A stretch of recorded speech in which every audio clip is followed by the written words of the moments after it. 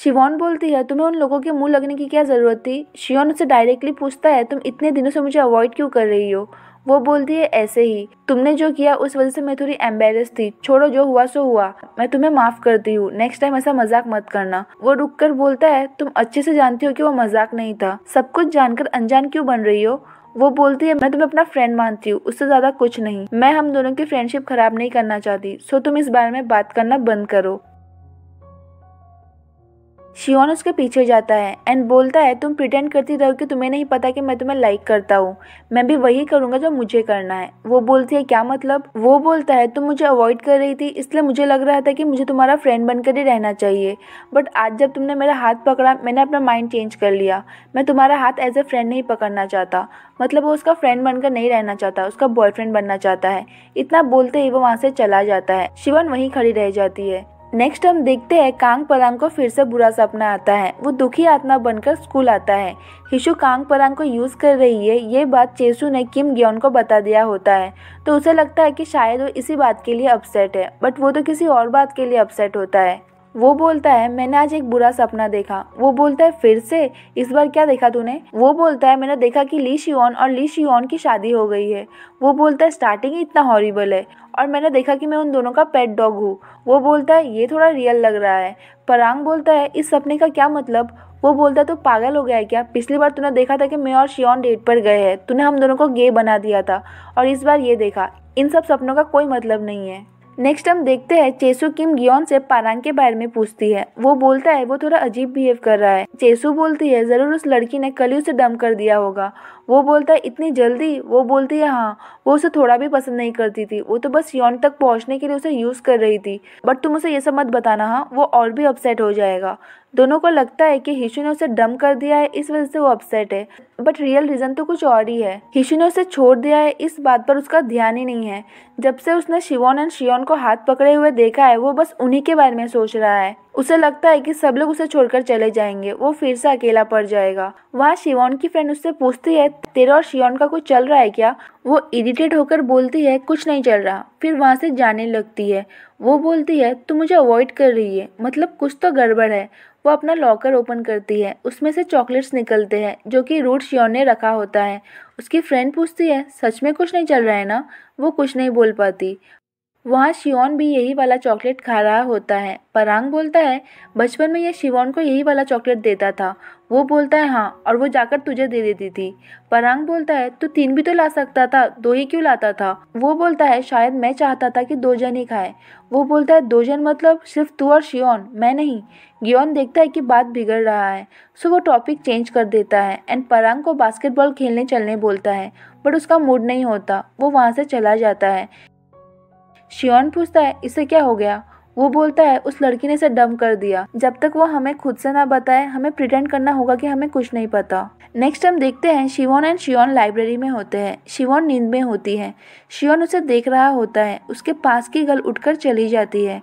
वो उसके सीट पर जाकर बैठ जाता है। देन वो उसके पास वाले बॉय को एक नोट लिखकर बोलता है, क्या तुम सीट एक्सचेंज कर सकते हो? वो लड़का इरिटेट होकर वहाँ से चला जाता है। देन शियोन शिवोन के पास आकर बैठता है एंड उसे देखता रहता है। वो गिरने वाली होती है तो उसे पकड़ लेता है। उसकी नींद खुलती है, वो शॉक्ड होती है। देन सोचने लगती है, ये यहाँ पर कब से बैठा है? वो कुछ पूछने जाती है, वो चुप करने बोलता है क्योंकि वो लोग लाइब्रेरी में होते हैं। पेन गिर जाता है, वो उठाने जाती है। दोनों का सिर टकरा जाता है। वो बाहर चली जाती है। वो भी उसके पीछे जाता है। वो उसका हाथ पकड़ता है एंड देन उसके क्लोज जाता है। देन वो उसे किस करने जाता है। तभी सर आ जाते हैं एंड बोलते हैं, कौन है वहाँ? जल्दी से अलग हो जाओ। दोनों को देखकर सर बोलते हैं ओ तुम दोनों हो? दोनों ही अपने क्लास के टॉपर्स होते हैं। सो सर को लगता है कि वो लोग पढ़ाई की ही बातें कर रहे होंगे। सर उन्हें कंटिन्यू करने बोलते हैं एंड वहाँ से चले जाते हैं। शिवोन वहाँ से चली जाती है एंड घर आकर बस उसी के बारे में सोची जा रही थी। एंड खुद से बोलती है, मैं उसके बारे में क्यों सोच रही हूँ? वहाँ कांग परांग भी सोच रहा होता है, उन दोनों ने हाथ क्यों पकड़ा था? वो लोग इतने क्लोज कब से हो गए? नेक्स्ट हम देखते हैं शियोन की ट्यूशन क्लास ख़त्म होने के बाद वो शिवोन का वेट करने लगता है। कुछ देर बाद वो आती है।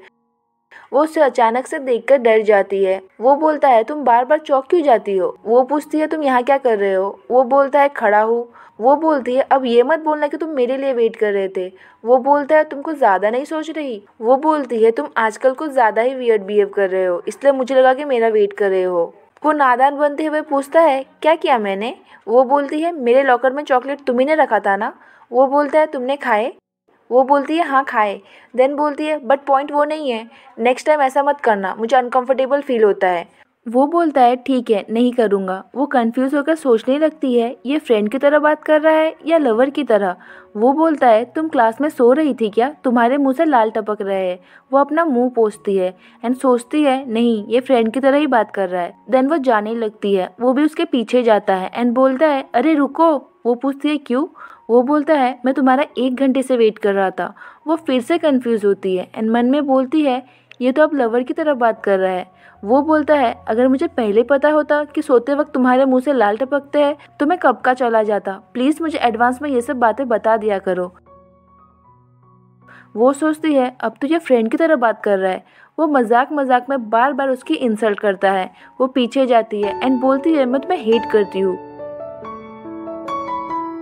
फिर हम देखते हैं शिवोन की मॉम ने स्पेशल डिश बनाया होता है। वो कांग परांग को देने जाती है। फिर उसके स्केचेस देखने लगती है। वो एक स्केच बुक लेकर छुपाने लगता है। वो छीन लेती है। वो पूछती है, ये किसका स्केच है? वो मन में बोलता है, लॉन्ग हेयर वाली एंग्री शिवोन। बट उसके सामने किसी और लड़की का नाम लेता है। वो नेक्स्ट स्केच के बारे में पूछती है। वो मन में बोलता है शॉर्ट हेयर वाली शिवोन सोते वक्त बट उसके सामने फिर से दूसरी गर्ल का नाम लेता है। मतलब उसने हर एक पेज में बस शिवोन को ही ड्रॉ किया होता है बट वो उसके सामने बोलता नहीं है। नेक्स्ट डे शिवोन एंड शिवोन बस में होते हैं। वो गिरने वाली होती है। वो उसका हाथ पकड़ लेता है। देन उसके हाथ को पकड़े रखता है। शिवोन मन में बोलती है, मेरे हार्ट बीट इतने फास्ट क्यों हो गए हैं? स्कूल में सर सबको बताते हैं कि स्कूल ट्रिप पर हम सब हाइकिंग के लिए जाएँगे। सभी बॉयज़ का मुँह उतर जाता है, क्योंकि उन सब का तो अम्यूजमेंट पार्क जाने का मन था। सर के जाने के बाद किम ग्योन पूछता है, हाइकिंग के लिए किसने वोट किया? कोई कुछ नहीं बोलता। सभी के पास दो ऑप्शन थे, एक हाइकिंग एंड दूसरा अम्यूजमेंट पार्क बॉयज़ को अम्यूजमेंट पार्क जाना था बट हाइकिंग फिक्स होता है। शियोन क्लास प्रेसिडेंट था, उसने ही सबके वोट्स लिए थे, और वो वोट सबमिट करने जा ही रहा था, तभी वो शिवोन की बातें सुन लेता है। उसका क्लास हाइकिंग के लिए जा रहा था। सो रूट शिवन अपने क्लास के वोट्स चेंज कर देता है। किम ग्योन परांग को बोलता है, तूने ही गलती से हाइकिंग को टिक किया होगा। वो बोलता है, अरे मैंने नहीं किया। वो बोलता है, नहीं तू नहीं किया होगा। तुझसे तो ओएमआर शीट भी फिल नहीं किया जाता। तूने इसमें भी गलती कर दिया होगा। फिर वो दोनों झगड़ने लगते हैं। ब्रेक में सभी चॉकलेट खा रहे होते हैं। कॉलेज एंट्रेंस एग्ज़ाम को बस कुछ मंथ्स बाकी होते हैं। वो लोग पढ़ाई को लेकर बातें करते हैं। किम नम परांग को बोलती है, पढ़ाई कर, नहीं तो हम तेरे सीनियर्स बन जाएँगे और तू जूनियर ही रह जाएगा। शिवॉन बोलती है, ऐसा क्यों बोल रही है? वो शिवॉन एंड शियोन की तरफ़ देखता है एंड सोचता है, इन दोनों का नाम भी सेम है टैलेंट भी सेम है एंड टेस्ट भी सेम है। मैं ही अलग हूँ। शिवोन को लगता है वो किम नाम की बातों का बुरा मान गया है। वो बोलती है, कोई बात नहीं, तुम अभी से पढ़ाई स्टार्ट कर देना, तुम्हें भी अच्छे कॉलेज में एडमिशन मिल जाएगा। तुम खाओ, टेंशन मत लो। किम नम बोलती है, तू इसे बच्चों की तरह ट्रीट करना बंद कर, बड़ा हो गया ये। देन कांग परांग वहाँ से जाने लगता है। वो पूछती है, कहाँ जा रहे हो? वो बोलता है, पढ़ाई करने। शिवोन उसके पीछे जाने लगती है। किम नम बोलती है, तू क्या उसकी दीदी या माँ है क्या? इतनी चिंता क्यों करती है? वो अब बच्चा नहीं है। शिवोन शिवोन को देख रहा होता है। तभी जुंग चेशु आती है। वो समझ जाती है कि शियोन शिवोन को लाइक करता है। सो so फाइनली वो हमारे रूट शियोन पर गिव अप कर देती है। नेक्स्ट डे सभी हाइकिंग के लिए पहुँच जाते हैं। परांग सोचता है, मैं पढ़ाई में तो अच्छा नहीं हूँ बट मुझे सबको दिखाना होगा कि मेरे पास कुछ तो टैलेंट है। वो दिन में सपने देखने लगता है। सब लोग हाइकिंग कर रहे होते हैं। वो भी बहुत आगे जा चुका होता है। शिवोन से और चला नहीं जाता। वो उसे हाथ देता है। वो बोलती है, नहीं, तुम पहले जाओ। वो बोलता है, मैं तुम्हें इस हालत में छोड़कर कैसे जा सकता हूँ? अपना हाथ दो, हम एंडिंग तक साथ जाएँगे। वो अपना हाथ देती है एंड इसी के साथ परांग के ख्याली पुलाव का दी एंड हो जाता है। कांग परांग जैसा सोच रहा है, ऐसा सच में होगा या फिर कुछ और होगा, यह हमें नेक्स्ट पार्ट में पता चलेगा। थैंक्स फॉर वॉचिंग मिलते हैं नेक्स्ट पार्ट में बाई